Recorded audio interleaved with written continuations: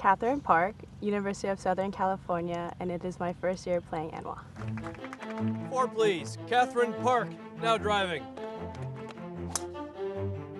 You've seen this on the TV, and now you're seeing it in person, playing it with other amazing golfers, and it just it just makes it feel like this is what you worked hard for. Rose Zhang has won the 2023 Augusta National Women's Amateur title. Me and Rose, we go back a long time. We grew up in the same golf course. We grew up know everything about each other, and I knew her game. She knows my game.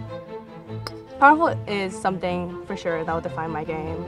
I grew up playing aggressive golf, pin hunting, taking aggressive lines, so that is for sure something that I will say my game is.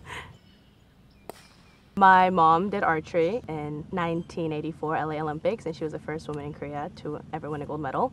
And my dad won a gold medal in the Asian Games in judo. That was something I looked up to, especially my mom.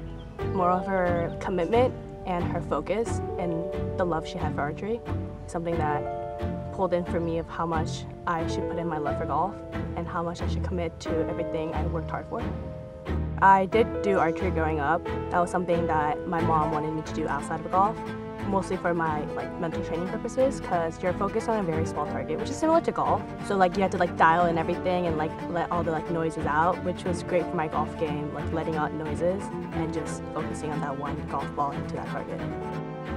They motivate me so much. The fact that I'm out here right now, they're just so proud of me and I'm proud that I was able to come out here too and work harder because I'm like, oh, I want to like one up my mom. I don't know if I can do it yet, but that is like something I've been always working forward to.